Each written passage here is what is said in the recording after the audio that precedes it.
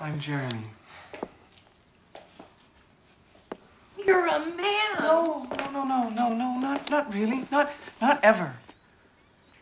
I, I was born into a man's body, but I've always been a woman. And, well, after the final surgery, I, I think I need a little drink. help yourself.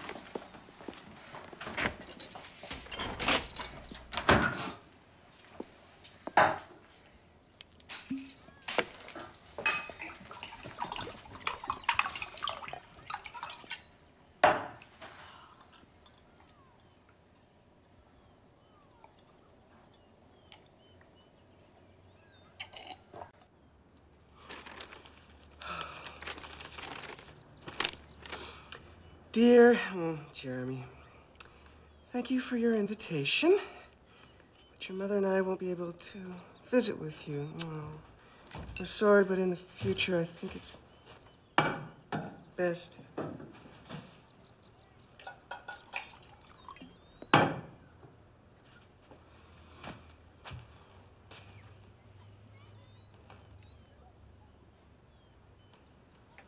What is it? Um, my father's lawyer will be in touch with you about the sale. So they're not gonna come? But, well, they bought you this place. Yes, well, apparently this place is a a get lost contract. Well, shit, shit, shit, shit, shit. You know, I'm I'm feeling a kind of a rage, a nasty kind of bubbling up kind of a rage. Thank you.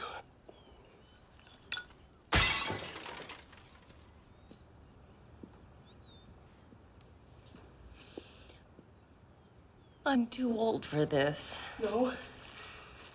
You are not too old. You are pissed off. See, rage gets trapped in the body and it can make you feel old and tired.